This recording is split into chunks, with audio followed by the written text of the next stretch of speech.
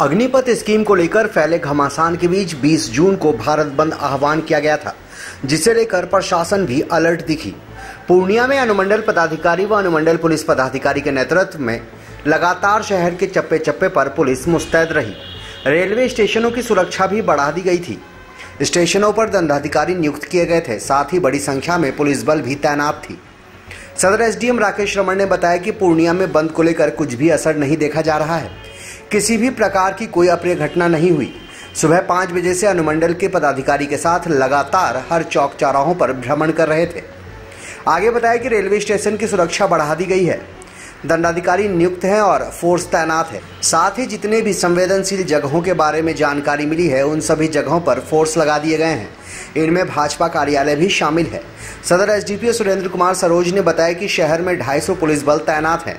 किसी भी तरह की अप्रिय घटना नहीं हुई है। अगर कोई भी प्रदर्शनकारी सड़क पर आएगा तो कार्रवाई होगी। इसके लिए पुलिस बल चप्पे चप्पे पर तैनात है।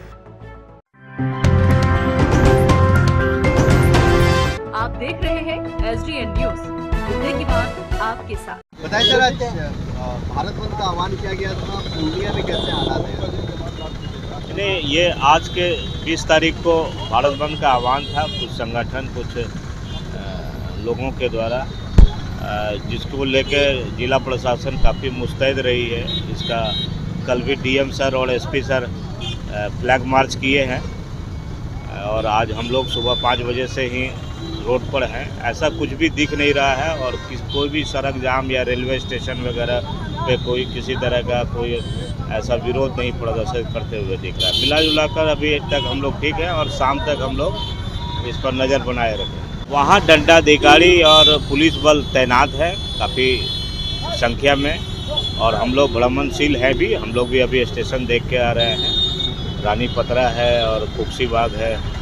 और अभी कोर्ट स्टेशन भी अभी हम लोग जाने वाले हैं। का मिला जुला कर काफ़ी शांति है।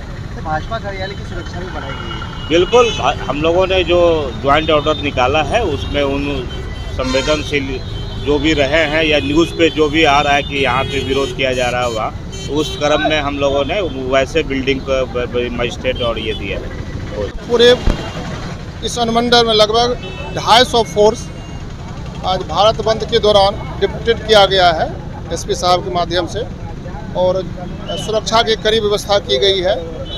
यदि कोई प्रदर्शनकारी आते हैं तो उसके खिलाफ में कड़ी कार्रवाई की जाएगी, उसकी अरेस्टिंग होगी और प्राथमिकी दर्ज कर आवश्यक कार्रवाई की जाएगी उन लोगों पर। और इसको देखते हुए, मद्देनज़र देखते हुए हम लोग आज सुबह से ही गतिशील हैं और कहीं से भी किसी जगह कोई अप्रिय घटना नहीं घटी है और न ही कहीं जाम की समस्या उत्पन्न हुई है।